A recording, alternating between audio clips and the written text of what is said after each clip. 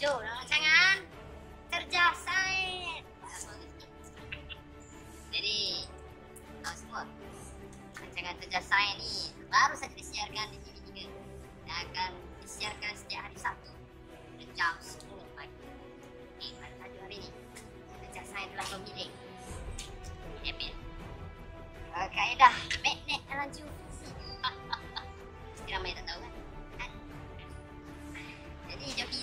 tahu semua geofisik adalah salah satu cabang sains dalam geologi yang menggunakan uh, ciri-ciri fizik iaitu elektrik, seismik, uh, graviti dan magnet.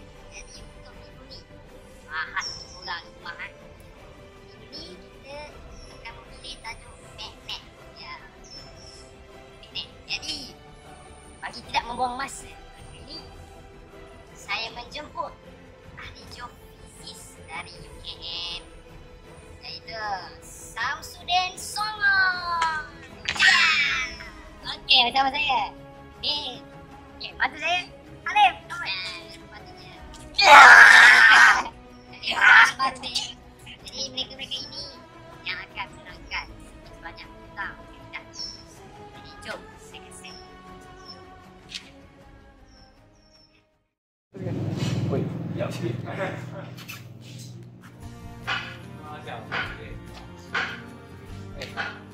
Assalamualaikum warahmatullahi wabarakatuh. Hari ini kami akan memperkenalkan satu set geofis. Itu magnetometer. Okey. Mari saya perkenalkan alat-alat. Okey, alat yang pertama ialah magnetometer G856. Alat ini digunakan untuk mengambil bacaan magnet dengan menekan butang read. Ha, okey. Dia akan buat bacaan di setiap kawasan. Okey. Yang kedua ialah aluminium star. Alat ini boleh dicabut dan dipasang semula. Dan ini adalah sensor. Ini juga merupakan magnetometer. Okey. Ini merupakan sensor yang perlu digunakan uh, untuk mengambil bacaan. Di mana uh, sensor ini setiap kali mengambil bacaan, sensor perlu menghadap ke arah utara. Uh, sebenarnya dalam magnetometer ni dalam mengambil bacaan magnet ni kita memerlukan dua set. Iaitu set mobile yang dipakai menggunakan backpack ni. Kita memerlukan magnetometer dengan sensor dan set base yang mana perlu ditinggalkan di kawasan base yang akan mengambil bacaan setiap 5 minit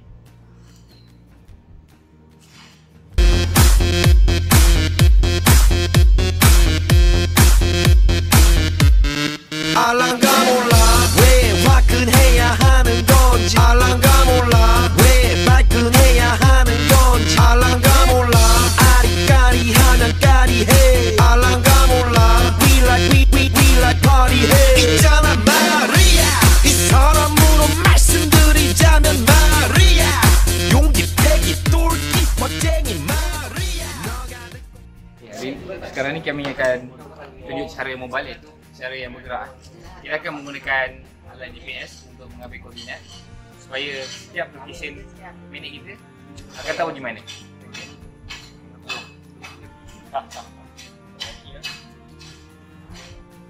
Okay. Ini merupakan lokasi pertama kami. Yang pertama kali di sini kita akan mengambil koordinat dan setiap kali untuk mengambil bacaan, sensor akan menghadap ke arah utara. Okey, kalau ada utara, utara. Okey. Dan kita boleh mengambil bacaan sekarang. Dan repeat perkara yang sama di. Okey. Nice. Nice. Okey, antara perkara yang perlu dielakkan semasa mengambil bacaan ni. Okey, first sekali ni. Jam ni. Jam ni tak boleh pakai sebenarnya ni. Salah ni. Sebab dia akan mengganggu bacaan magnet. Kedua ialah tali pinggang. Okey, ni tali pinggang kulit. So, tak ada masalah. Kepala besi. Kepala besi pun kena buang. Ha. So, phone, phone tak boleh. Kena elak sebab benda ni akan mengganggu bacaan magnet. Jadi sama saya lagi Cik Samsudin Songol Zoologist katanya IKM Jadi Cik Samsudin kenapa kita pakai uh? Ya, pertama sekali kita tentukan alat yang kita nak pakai. Kita kena fikir kan cakap apa. Selalunya kaedah magnet ni digunakan untuk mencari benda-benda berat lah. Kan? Selalunya dia akan memberi perbezaan magnet. Macam magnet. Dia, tapi masalah yang dalam kaedah ni ialah selalu cuak kuas. Kami baru-baru ni baru baik Malaysia pun Lebih kurang RM20,000 Ha, kan? Baru bagi Belum beli lagi Kami tak beli Kami bagi Dengar tu, kawan-kawan kat rumah. RM20,000. Para ilmu bagi tu je kat dia. Kahwin ke dia. Jadi terima kasih Encik Masuk. Tuan. Sudi datang ke rancangan saya. Saya akan jumpa lagi. Nak jemput lagi. Jadi, kawan-kawan di rumah sekalian. Uh, jumpa lagi minggu depan. Jangan lupa tau, hari Sabtu pukul 10. Dan jangan lupa tekan. Bye-bye. Assalamualaikum.